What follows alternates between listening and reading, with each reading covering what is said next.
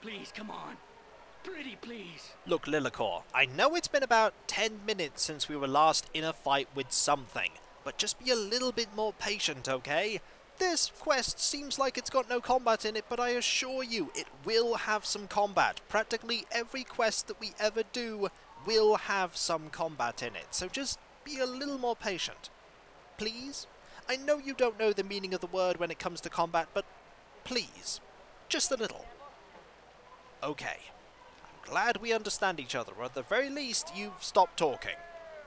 Let's move on, shall we?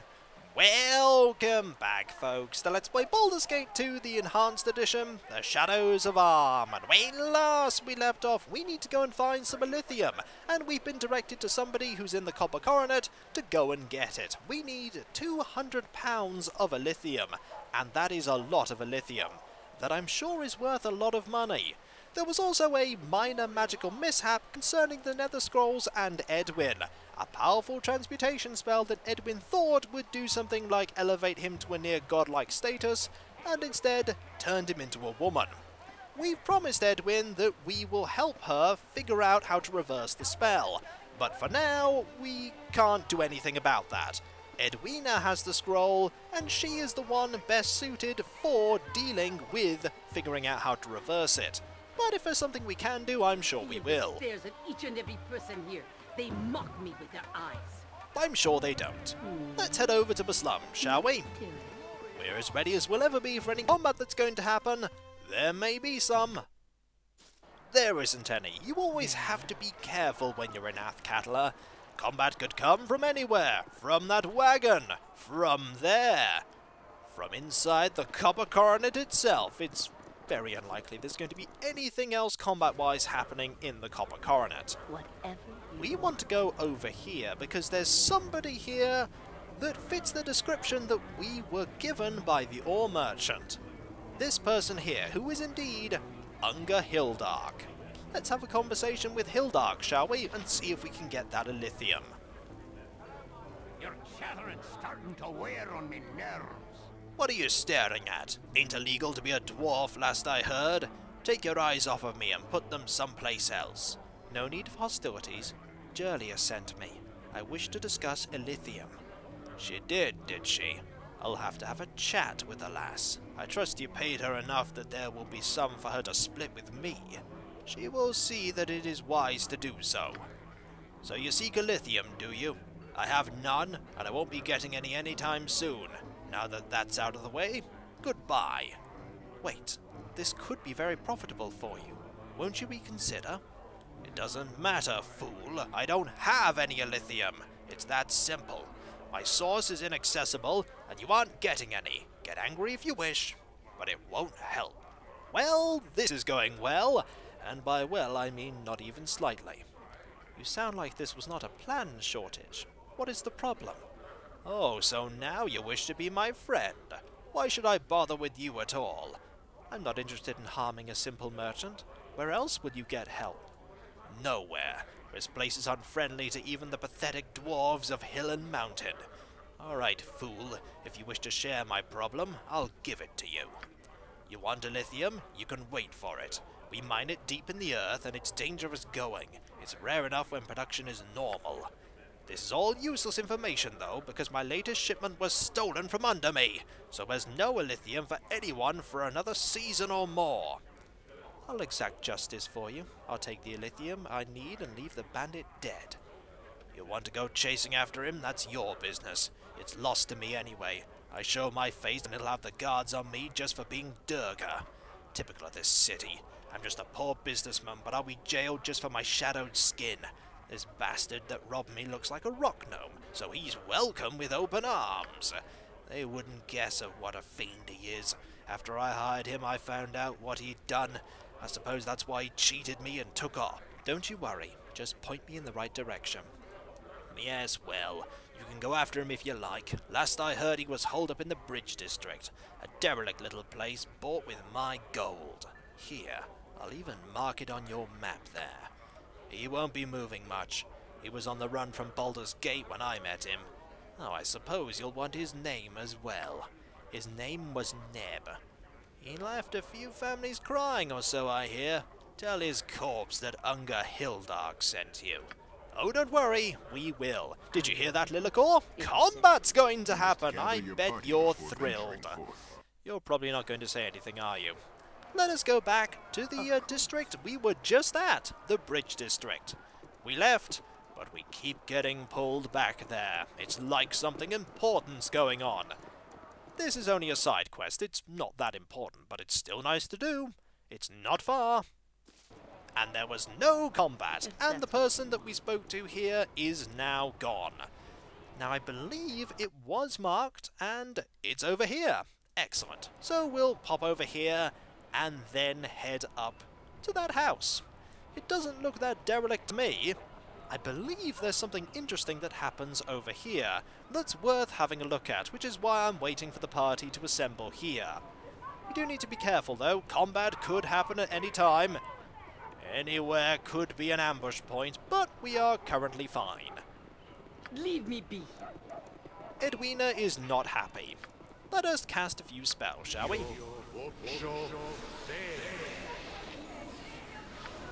We need a little bit of buffing. And nobody cares that we're doing this. That money we spent on that license, very well spent. Whatever you decide. Let's go up here, shall we? And a little bit further. You shall never have her, you ridiculous fool. Something's going on here. It looks like there's about to be a fight. No, it is you that shall never have her. She loves me. No, she loves me. Me! Boys, boys, don't fight over me, please. Fight over her? What an excellent idea!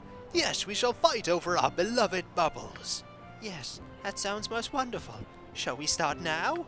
Certainly, if you wish to. Certainly. well, fine, go ahead then, if that's what you boys have to do. Combat! We're not involved in it, but we get to watch. Ten gold says they both die. What do you mean, both die? Well, the one who ends up winning will die from their wounds. If they can even hit each other. There you go. Just keep stabbing there. Honestly, this is kind of sad. They appear to be exchanging blows. Who will win? This is taking a lot longer than it normally does. They are rolling really poorly on their to hit rolls. Stay back, or you'll regret it. Aha! That moron Shank is now dead. I'm victorious. Come, my bubbles. Let us go and celebrate this blessed event. Whatever. I'm out of here. Bubbles? But, but Bubbles? Honey Melon, where are you going? And off she goes. And now she's heading up there. There's no way you can leave that way. Unless you phase through the wall or just vanish into thin air. Well, hmm. I don't think I've ever seen that happen before. Let's pretend we never saw that strange event occur and move on. Here's the place we need to be, and we've got to presume that the person we're going to be facing is going to be a tricky foe. A little bit more spell What is it casting wouldn't go amiss. Let's get this going. And maybe a bless would be useful as well. Marvellous. We're as ready as we'll ever be for a dangerous fight. Let's go in. Oh, it's locked. Hmm. Well played. It's not locked anymore. What would you like? Now we'll go in. You. You wouldn't hurt a gnome, would you? Have you reason to be here? I do not recall summoning such as you. Do I know of you? I do not think it is so. I am here to take what you stole from Unger Hiltdark. Unger? So you support the morally grey with the slaughter of the morally red? Think of what my death will mean. Think of the children. Come then, attack, and your death shall be a riddle for some other fool to solve. That's not going I to will happen. tolerate only so much. Edwina is angry, and this anger is about to What be vented out on you. Be quick with Three it. warriors attacking, ready. Hexxat shooting with a bow. Yes, I do. Viconia could also attack. Why Let's not? see what your guts are looking like. Oh, when you said uh, children, you meant these children's spirits that are here. I'm Oh dear. I will listen. Well, we'll now. deal with these. What Presently. want, We'll have Edwin, Edwina, wait for Neb to reappear. What's the beggar's immune? Ah, that's not so good. You're not going to be able to do very much damage here, are you? Now, you saw that there. I certainly did. Lilarcor's complaining even though we are currently fighting. You're right over there. Nothing. I know you're over there, Neb. Mind your very well. Oh, there we go. You made the foolish mistake of deciding to attack. And that's pretty much going to be the end of you. Stop drinking all my potions. There we go. We have Neb's head. We also have Illithium ore and a really infeasible dagger. I don't know why we'd need Neb's head, but we'll take it, not some beast of burden. and we'll have I'll you take no all of this. We do have uh, something we can use to identify this dagger. It really doesn't make much sense. Neb's Nasty Cutter plus 2. This is a vicious weapon used by Neb, covered with old blood and coated in a poison that is both quick acting and extremely deadly. Only the truly evil would dare to use this item on their own. Once the poison is used up, however, Neb's Cutter will act as a normal enchanted dagger. Ah, there are only so many charges of the uh, poison available. We're probably not going to use it. Let's have a look at uh, this. This is the head of Neb the Gnome. Rarely has a more despicable being roamed the land. We'll have you hold on to that, shall we? And we have this. This is 200 stones of pure Illithium ore. Illithium is renowned for both its luster and its unique property of never becoming soiled. Yes. Well, we have what we need. What Let's see if we can find anything else while we're here. There's lots of stuff here. It's just a question of finding out which things are trapped, because inevitably, something here is going to be trapped. Like that, for instance. You are lucky I'm here. Indeed we are. Certainly. We'll deal with that, and that. Ooh, that's quite nice. Fire shield, and lots and lots of goodies. And some potions.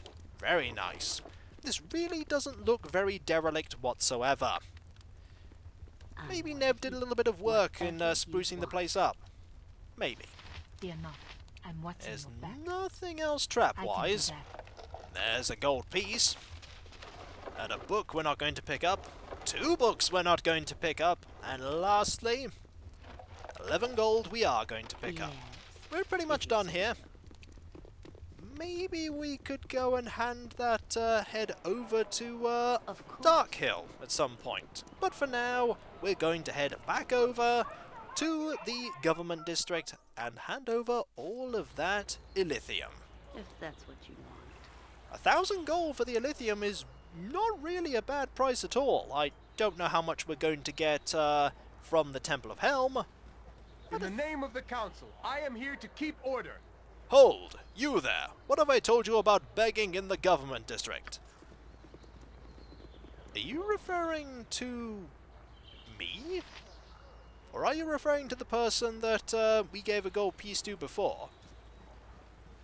Nope, no idea who Are you're you referring to. in purchasing a bit of merchandise, my friend? Oh, hello, Jan. This is Jan Jansen, everybody. Jan Jansen is by far one of my favorite companions in this game. Jan Jansen is a gnome illusionist thief and is invaluable as one of the thieves that gains levels as you are adventuring because Imoen and Nalia don't gain levels being dual class. Jan is a really funny character to have around, has great dialogue, great interactions with everyone, and is pretty good at being both a thief and a spellcaster. Unfortunately, we have a full party, and even if I didn't, Jan is not evil, so we'd have to pass up on having Jan. It's a sad thing to not have Jan in my party, but you don't get Minsc, I don't get Jan. We all have to make our sacrifices. Why not? What merchandise do you carry, good gnome? Well, you've got the look of an adventurer about you. I've been one myself betwixt stints as a turnip salesman, that is, Occasionally the markets get down, and the formerly self-respecting purveyor of fine veggies are forced to prostitute their abilities in the form of adventuring. Alright, alright, what are you getting at? What I'm getting at, oh so friendly one, is that I've items to sell that are specially created by yours truly to aid one on the dangerous path to heroism. They're known as Jan Jansen's, that's me, Flashmaster Bruiser Mates. Now pay attention. You take one of these babies and chuck it at average Joe Orc. Close your eyes real tight, and whoosh! He's running around in circles, clutching at his eyeballs and screaming and yelling like Uncle Sven after three days on a turnip beer bender. I trust all is well. Hold, gnome, in the name of the Amnian Revenue and Taxation Board. Ugh, not again. That bottom-feeding, turnip-hating, scum-sucking brigand. Nothing better to do than stop an honest businessman from selling high-quality illegal flashes for a reasonable price. Here he comes. Cover for me. I trust all is well. Jan Jansen, gnomish citizen of Amn, you have been charged with tax evasion and the illegal sale of illegal items in an illegal manner. Could you say any more instances of the word illegal there? Surely I could, but it would be illegal. You got me there. Trax, old friend, you do me a great wrong. I would never break the law. As my pappy always said, enough. You'll not sidetrack me with your cursed tales again. I'm smarter than you think. Shut up, you! Latrine duty beckons. That's better. We've been onto you for days, Jansen. We've caught you in the very act of selling your dangerous and illegal contraptions. What cruel fate! Falsely accused by an old friend. I'm not your friend, Jansen. You're not anyone's friend. Oh, that's it. Do you enjoy guarding used chamber pots? Sorry, sir. I swear this job will land me in an asylum. And who might you be? You're certainly no regular customer of this felon. I'm Terri Coleman, an adventurer. Well, Terri Coleman, did this gnome try to sell you illegal merchandise? Specifically, flashes, as he calls them? I don't know what you're talking about. We were simply talking about the weather. Curses! The gnome has gotten to you too. Jansen, you can no longer peddle in Athkatla. As for you, Terri Coleman, you have made a dangerous enemy. Who's the dangerous enemy? I am, you idiot! Move it back to the office! I think we did quite well there. Unfortunately, there's the minor problem. Truly evil man. Uncle Scratchy seems like a saint in comparison. Regardless, it seems that I'm once again out of the black market. At least until I scrounge up a fortune to set up my business and have Trax's superiors well bribed. Do you be needing a hand in your party? I was a little concerned that we would just walk off the screen forever and there would just be us staring at a completely empty screen as Jan kept chasing. And also, what is Dorn doing over there? Dorn, did you decide to take the long scenic route? We're going to politely decline, because we have no need for you. I'm sorry, Jan. I wish I could have you along as a seventh party member. There's loads more space here. We could have loads of people, but six is the max. Thank you for offering, but I believe it to be better that I go on without you for the time being. Your loss. If you change your mind, I live in the less than opulent side of town. The slums, if you will. I'll probably have a turnip stand, slowly working my way up to a nice bribe. Good luck to you. Good luck to you, Jan. Seriously, I didn't know which way you were going there, Dorn. I was going to take the direct route and just jump off there, and then I realized that would have probably broken my legs. It would have broken your legs, Dorn. How observant of you. Let's just wait for Dorn to catch up, and then go report on our success. Whatever you decide. And then I think we'll see if uh, we can do anything with that head that we've got in our backpack right now. We may be able to get a nice reward for it. You're going to ignore me, which is fine. You, on the other hand, are not going to ignore me. Oh, do go away. Well, I did not expect to see you back here so soon. Perhaps next time I should request to work only in blood-forged meteoric adamantite. Ah, Illithium ore in its rarest form. Can you feel the primal energy wafting off of it? It practically screams for a firm hand to shape it, mold it, Crescent. Uh, yes. You have met my demands. I will work for your lord and compose a fitting tribute to his glory, or some such. My muse will decide. I thank you on behalf of the followers of Helm. Our business is concluded. The piece will be delivered when it is done. I will dispatch a messenger to collect my fee and tell your church of my decision. Looks like we're done here. Excellent. We should return to the church and report our success. Oh, we will! But first we're going to pop over to the slums again and see if we can do anything with that head that's in a backpack. You have a really boring job, soldier, there. But you have a good view. That's a really nice view. But it's probably really boring. Really boring. Especially in this district, nothing probably goes on. I say that just as we'd met Jan. That's probably the most interesting thing that's going to be uh, going on in this district for a while now. We might not be back here for some time. Until we want to go do that quest for that cowled wizard. Let's quickly pop over to the slums. It's not much of a detour after all. We may even get some money from, uh, the uh, church. Maybe. You must gather your party before Don't worry, the forth. party's pretty much gathered. We'll just quickly see if, uh, there's anything we can do here. He may not even be here anymore. He is still here. Good. Let's say hello, shall we?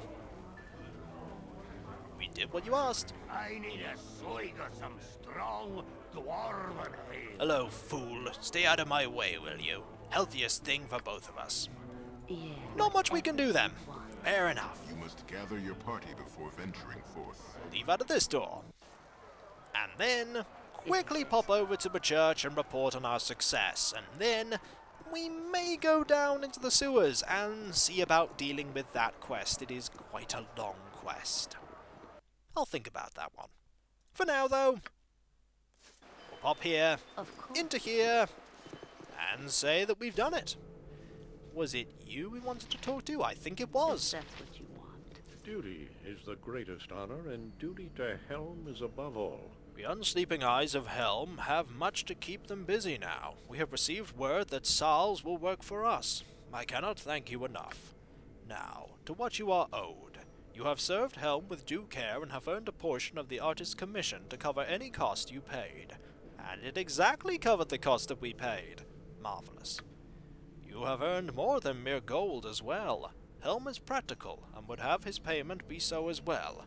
You shall have the Helm of Glory to further yourself. Report back to me when you are able. We have allies that will require your service. That is a fine reward. The Helm of Glory, Helm of the Noble, Armor Class plus one, Charisma plus one, protects against critical hits. It is a fine, fine helmet. We're going to give that to somebody. I think we could give it to you. There we go. Your armor class is now minus one. But more importantly, we can now give this over to Edwina, increasing Edwina's maximum health substantially. I'm waiting. And when we come back, folks, we have finished that quest. There are more quests to do, as well as the quests that we still have to get, like another mission for the temple here. And so, I'll catch you next time, folks, and I'll see you then. Later, see Lilarcor? We did have combat. It was brief, but it was combat. And we got an awesome helm for it. Definitely worth it. Also, is it ironic that we got a helmet from the Temple of Helm? Maybe not. Maybe not. Later.